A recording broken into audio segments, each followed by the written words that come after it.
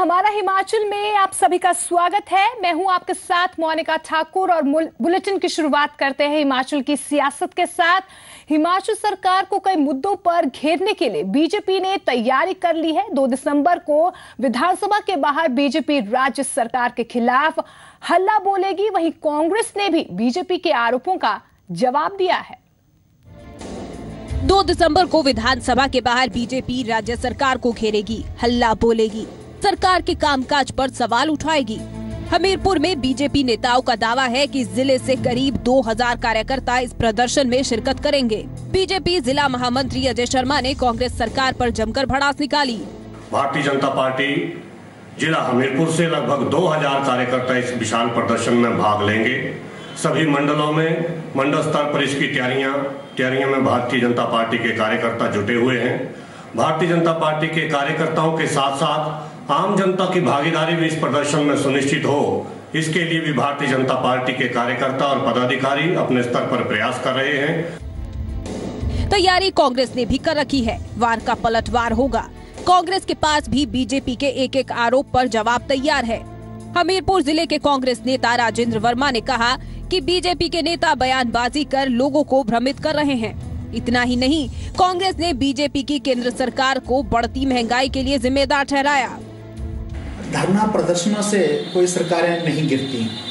और ये जो धरना प्रदर्शन भाजपा के लोग कर रहे हैं, इसमें बड़ा स्पष्ट है और प्रदेश की जनता भली भांति जानती है कि इन धरना प्रदर्शनों में उनका निजी स्वार्थ जो है वो छुपा हुआ है। जब से केंद्र में भारतीय जनता पार्टी की सरकार बनी है, तब से प्रदेश में सत्तासीन होने के लिए इनके मुँह से लार टपक रही है। एक दूसरे को घेरने की रणनीति दोनों पार्टियों के नेताओं ने बनाई है। दोनों दलों के नेताओं के बीच आरोप प्रत्यारोप पहले से ही चल रहे थे। लेकिन अब इसमें और तलखी बढ़ गई। तकरार तेज हो गई। लेकिन हिमाचल की ठंडी फिजा में अभी सियासी पारा और गर्माएगा। हमीरपुर से अरविंद्र सिंह के साथ ब्यूरो रिपोर्ट, जी मीडिया। उधर 2 दिसंबर की तैयारी ऊना में भी हो रही है। बीजेपी इस रैली को ऐतिहासिक बता रही है। ऊना में बीजेपी की अहम बैठक हुई, जिसमें बीजेपी के प्रदेश अध्यक्ष सतपाल सत्ती ने भी शिरकत की और राज्य सरकार पर जमकर भड़ास निकाली। 2 दिसंबर को विधानसभा के बाहर होने वाली बीजेपी की रैली पार्टी के लिए काफ़ी मायने रखती है। यही वजह है कि पार्टी ने इस रैली की सफलता के लिए पूरी तरह से कमर कस ली है। पार्टी पूरा ज़ोर लगा रही है। खुद पार्टी के प्रदेश अध्यक्ष रैली को कामयाब बनाने में जुटे हैं। ये तस्वीरें ऊना की हैं, जहाँ बीजेपी के प्रदेश अध्यक्ष सतपाल सत्ती ने कार्यकर्ताओं के साथ मीटिंग की और दावा किया कि ऊना से करीब एक हज़ार कार्यकर्ता रैली में पहुँचेंगे। ऊना जिला से हर मंडल से 200 कार्यकर्ता जाने हैं एक हज़ार कार्यकर्ता ऊना जिला से जाएँगे तो आज हमने अपने मंडल से लगभग दो ढाई सौ कार्यकर्ताओं की लिस्ट तैयार की है, जो धर्मशाला में धरना देने के लिए जाएँगे। सतपाल सत्ती ने साफ़ कर दिया कि 30 नवंबर से शुरू होने वाले विधानसभा के शीतकालीन सत्र में राज्य सरकार को कोई राहत नहीं दी जाएगी। भ्रष्टाचार समेत कई मुद्दों पर सरकार को घेरा जाएगा। बीजेपी प्रदेश अध्यक्ष ने कहा कि आज प्रदेश में अराजकता का माहौल बना हुआ है। भारतीय जनता पार्टी कांग्रेस के निकम्मेपन को वहाँ पर उजागर करेगी, रुके हुए विकास के जो कार्य हैं, उन बातों पर भारतीय जनता पार्टी सरकार को घेरेगी। और हिमाचल प्रदेश में जो अराजकता का माहौल है, सरकार नाम की कोई चीज़ नहीं है, प्रशासन बिल्कुल पंगू बन गया है। प्रदेश सरकार कहीं दिखाई नहीं देती है। प्रशासनिक अधिकारी सरकार का कहना नहीं मानते हैं, जनता परेशान है। इन मुद्दों को लेकर के भारतीय जनता पार्टी ने विधानसभा के बाहर धरना भी रखा और विधानसभा के अंदर भी इन मुद्दों को हम लोग उठाए। तो बीजेपी ने अपनी रणनीति साफ़ कर दी है। यानी कि आगामी विधानसभा सत्र वीरभद्र सरकार के लिए काफ़ी मुश्किलों वाला साबित होने वाला है। बीजेपी राज्य सरकार के खिलाफ न केवल सदन के भीतर, बल्कि सड़क पर भी मोर्चा खोलेगी। ऊना से राकेश मल्ही के साथ ब्यूरो रिपोर्ट, जी मीडिया। खबर में आगे बढ़ते हैं। बात पंचायत चुनावों की करते हैं। हिमाचल प्रदेश में पंचायत चुनावों का पहला चरण खत्म हो गया है। सत्तावन पंचायतों में से 10 पंचायतों में निर्विरोध ही चुनाव संपन्न हुए, जिसके बाद से बीजेपी और कांग्रेस ने इन 10 प्रधानों के लिए अपने अपने दावे पेश करने शुरू कर दिए हैं।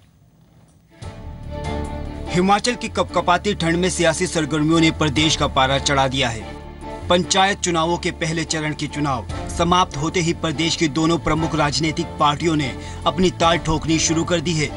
प्रदेश में पहले चरण की सत्तावन पंचायतों के लिए हुए चुनावों में से 10 पंचायतों के प्रधानों को निर्विरोध ही चुन लिया गया है, जिसके बाद से दोनों ही पार्टियाँ इन 10 प्रधानों को अपना अपना बताने में कोई कोर कसर नहीं छोड़ रही।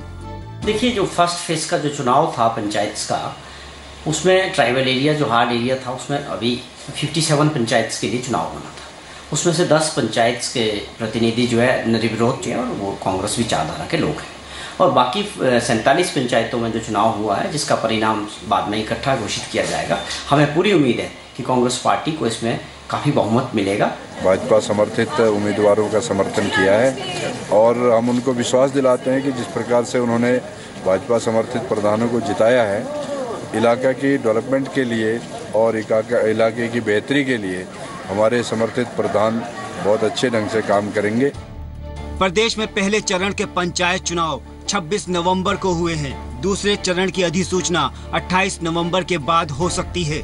दोनों ही चुनावों के परिणाम एक साथ घोषित किए जाएँगे। Vishal Dwivedi, Zee media, Shimla. Himachal Pradesh के मुख्यमंत्री वीरभद्र सिंह और पूर्व मुख्यमंत्री प्रेम कुमार धूमल की 25 नवंबर को हुई बैठक पर अब हिमाचल लोकहित पार्टी ने कई सवाल खड़े कर दिए हैं। 25 नवंबर को मुख्यमंत्री के सरकारी आवास ओक ओवर में वीरभद्र सिंह और प्रेम कुमार धूमल के बीच करीब एक घंटे तक बैठक चली थी, जिसको लेकर प्रदेश में कई सियासी मायने निकाले जा रहे थे। लेकिन अब हिलोपा ने भी बंद कमरे में हुई इस बैठक पर सवाल खड़े कर दिए हैं। हिलोपा के अध्यक्ष महेश्वर सिंह दोनों नेताओं की बैठक को मिली भगत मिली भगत बता रहे हैं। साथ ही उन्होंने मुख्यमंत्री पर भी निशाना साधा है। रिपोर्ट को आज तक उसमें चेंजेस ला रहे हैं। कभी कह रहे इतनी छोड़ो कभी कहते पच्चीस तारीख को फुल मुंडे। उस दिन दो नेताओं का मधुर मिलन होता है वो भी बंद कमरे में। और मुख्यमंत्री जी ने कहा है कि ये सिर्फ़ एक औपचारिकता थी और कुछ नहीं था। तो फिर बंद कमरे में क्यों? तो सारी सरकार कटघरे में खड़ी है। और ऐसी स्थिति में आज सरकार पंगु बनकर खड़ी है। जो लड़ाई भी थी, भ्रष्टाचार की, वो सीमित हो गई दो परिवारों हिमाचल प्रदेश हाई कोर्ट के आदेश के बाद शहर के लक्कड़ बाज़ार अड्डे पर बने अवैध कब्जों को एचआरटीसी प्रशासन ने गिरा दिया है। पिछले कई सालों से यहाँ लोगों ने परिवहन निगम की ज़मीन पर अवैध कब्जा कर रखा था, लेकिन बाद में इन्हें पक्की दुकानों में तब्दील कर दिया गया था, लेकिन हाई कोर्ट ने इन्हें तोड़ने के आदेश दिए थे, जिसके बाद निगम प्रबंधन ने पुलिस की मदद से जेसीबी चलाकर इन्हें गिरा दिया है। इस दौरान लोगों और निगम प्रबंधन के अधिकारियों के बीच झड़प भी देखने को मिली। इतना ही नहीं, कारोबारियों ने बस स्टैंड पर पुलिस और परिवहन निगम प्रबंधन के खिलाफ जमकर नारेबाजी की।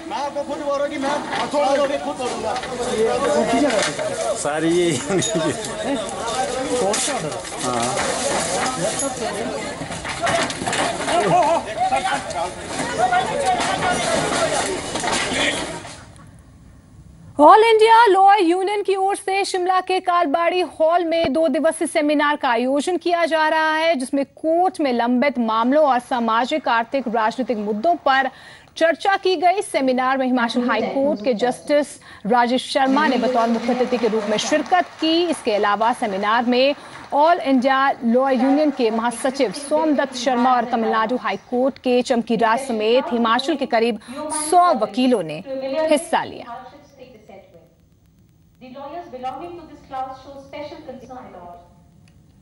आज जो हमारी द्विवर्षीय जो सेकंड बाइनल कॉन्फ्रेंस हो रही है शिमला में, इसमें हमारे मुख्य जो चर्चा है आज सम्मेलन में होने वाली है, उसमें राइट टू एक्सप्रेशन और विमेन वायलेंस है, लोगों के डेमोक्रेटिक राइट्स हैं, इन मुख्य बातों पर जो चर्चा होगी।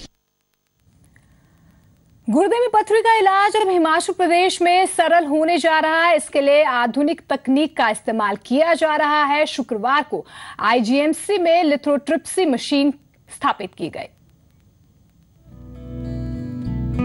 हिमाचल प्रदेश के सबसे बड़े अस्पताल आईजीएमसी में अब गुर्दे की पथरी के ऑपरेशन के लिए न तो चीरफाड़ होगी और न ही लंबी उपचार प्रक्रिया से गुजरना पड़ेगा।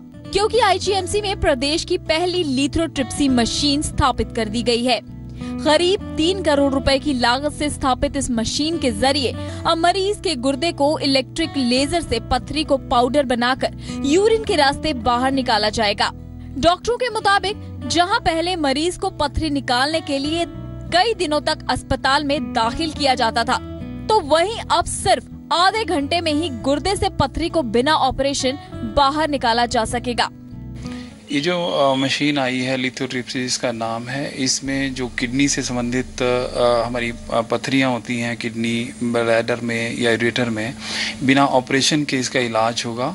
मरीज़ सुबह आएगा उसको इसकी किरणों से उसका इलाज होगा।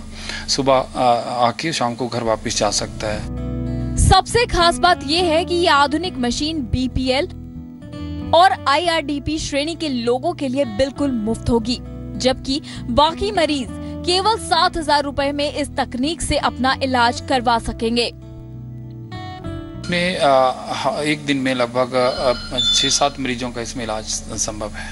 खर्चा बहुत कम होगा आईआरडीपी और गरीब मरीजों के लिए बिल्कुल सुविधा फ्री रहेगी।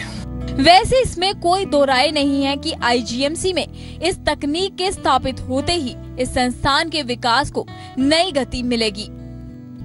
मोहित प्रेम शर्मा के साथ news desk report, Zee media, Shimla. पहाड़ी इलाकों में स्थायी विकास के लिए जागरूकता फैलाने के मकसद से शिमला में 120 शिल्पकारों की बैठक हुई। Himachal Pradesh chapter of Indian institute of architecture की तरफ़ से सेमिनार का आयोजन किया गया। सिस्मिक जोन चार और चार में शामिल शिमला में और इसके अन्य पहाड़ी इलाकों में कैसे कस्बों के बोझ को कम किया जाए और स्थायी विकास के लिए आगे कैसे बढ़ा जाए, इस मुद्दे पर शिल्पकारों का मानना है कि गहन विचार चर्चा की जरूरत है rapid urbanization the planned urbanization is lacking for a town like uh, Shimla particularly because take all the social ecological, environmental and heritage and other architectural issues while we are making this development plan. I think this uh, seminar will be a very uh, will be an eye opener. आगे बढ़ते मौसम की बात करते हैं। शिमला में शुक्रवार का दिन सबसे ठंडा रिकॉर्ड किया गया। चार दशमलव तीन डिग्री तापमान के साथ शिमला में शुक्रवार का दिन इस साल की सर्दियों का सबसे ठंडा दिन रहा। उधर हिमाचल के ऊपरी इलाकों में बर्फबारी जारी है जिससे ठंड में इजाफा हो गया है। मनाली में न्यूनतम तापमान शून्य दशमलव दो रिकॉर्ड किया गया और कुल्लू के भुंतर में सात दशमलव पाँच रिकॉर्ड किया गया। उधर हिमाचल के तमाम इलाकों में हल्की बारिश का सिलसिला जारी रहा। हालाँकि आज मौसम में थोड़ी तब्दीली देखने को मिल रही है। हिमाचल में ऑलरेडी विंटर है। अप्रोच कर चुका है और जो तापमान आज का है, खास करके जो शिमला का है, ये लोएस्ट टेम्परेचर है इस सीज़न का। इस सीज़न में जो तापमान इससे पहले 6.4 डिग्री लोएस्ट था। कल से तो बहुत बुरा हाल हो गया ठंड से ना। बस काम भी करना मुश्किल है नहीं करके इस बार तो जल्दी मौसम ख़राब हो गया और बारिश का बर्फबारी ऐसा कोई चक्कर बन रही है इसी के साथ इस बुलेटिन फ़िलहाल इतना ही, लेकिन आप देखते रहिए जी पंजाब, हरियाणा, हिमाचल।